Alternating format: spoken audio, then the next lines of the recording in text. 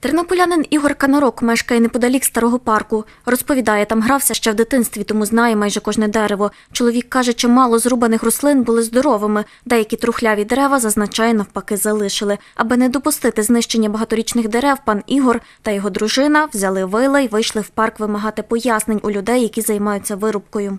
Дивіться, такі е, широкі дерева, такі грубі, всі зрізають, а ті трухляві, що рядом стоять, ніхто їх не рухає.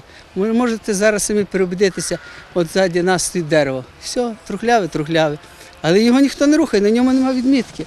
А відмітка стоїть тільки на добрих деревах. Бачите, от синя відмітка. Синя відмітка так. на той Тобто, і ви бачите, як вони все прекрасно ріжуть.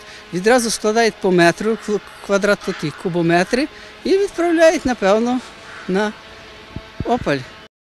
Робітники нам повідомили, що мають на вирубку дерев дозвіл. Восени комісія із Держекоінспекції обстежила парк. Вони позначили синьою фарбою усі стовбури, які підлягають вирубці. Державний інспектор з охорони навколишнього природнього середовища області Василь Дуда каже, що сам оглянув рослини. Для вирубки позначили тільки сухостійні дерева або ті, що можуть призвести до аварійної ситуації. Складено було акт за результатами цієї комісії і видаленню підлягало 37 дерев. Основною причиною це було всі сухостійні дерева. Це ялина, тополя, клен, береза та сосна.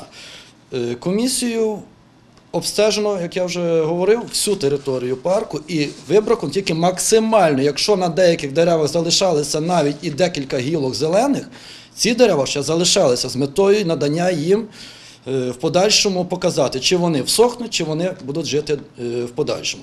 Крім того, на підставі цього акту міською радою було видано ордер на видалення даних дерев. Інспектор каже, що такі обстеження провели в усіх парках Тернополя. За їх результатами цьогоріч мають вирубати більш ніж 700 дерев. Соломія Струс, Юрій Багрій, Вісті ТТБ.